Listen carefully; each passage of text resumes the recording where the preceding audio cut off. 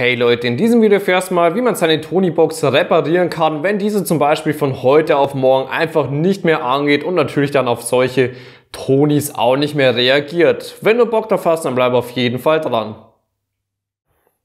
Meist tritt dieses Problem lustigerweise relativ kurz nach Ablauf der Garantie auf. Dann reicht es aber oftmals aus, wenn man den Akku in der Box drinnen einmal kurz absteckt und wieder ansteckt. Das Ganze kann übrigens auch funktionieren, wenn zum Beispiel hier irgendwie mal Wasser reingekommen ist.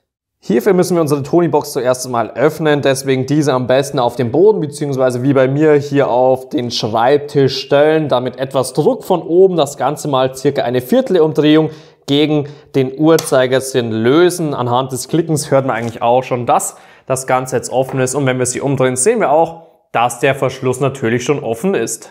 Als nächstes erkennen wir auf der Unterseite eine kleine Kreuzschraube, die kann ich mal mit dem entsprechenden Schraubendreher ganz einfach gegen den Uhrzeigersinn komplett lösen und danach lässt sich nämlich auch schon das Polster von unserer Tony-Box ganz einfach nach oben hin entfernen.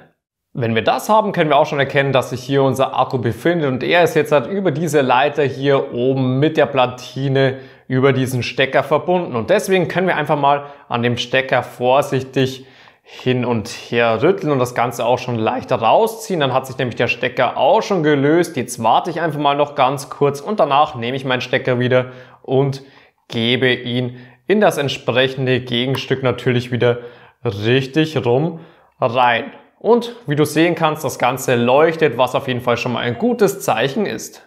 Falls es bei dir zu Hause noch nicht leuchten sollte, kann es einfach sein, dass zum Beispiel der Akku defekt ist, wir das Ganze einfach mal auf die Werkseinstellung zurücksetzen sollten oder vielleicht sogar die Speicherkarte irgendeinen Defekt vorweist. Doch hierfür habe ich auch schon spezielle Videos auf meinem Kanal, wie wir das Ganze ganz einfach reparieren können.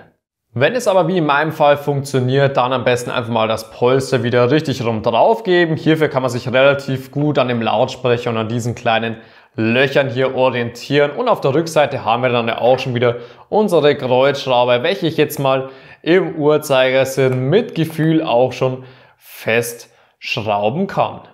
Im nächsten Schritt können wir auch schon unseren Verschluss unten mal wieder richtig rum drauf geben. Hierfür einfach an diesen zwei Nasen orientieren, dass die natürlich bei der Tony-Box auch richtig rum reingehen, so wie in meinem Fall.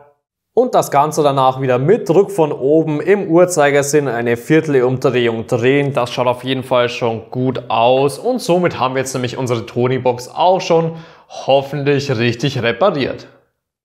Wenn du dir für zu Hause jetzt übrigens einen Ersatzakku, eine neue Tony-Box, so eine personalisierte Schutzfolie oder natürlich auch weitere Tonis zulegen möchtest, dann am besten einfach mal unterhalb des Videos in der Videobeschreibung auf den entsprechenden Link klicken und du kommst direkt zu den Produkten auf Amazon vom Markenhersteller. Falls dir das Video gefallen und auch weitergeholfen hat, kannst du mir gerne einen Daumen nach oben geben und es einmal unter dem Video in die Kommentare reinschreiben. Außerdem kannst du meinen Kanal noch hier oben kostenlos abonnieren, um kein neues Video mehr zu verpassen.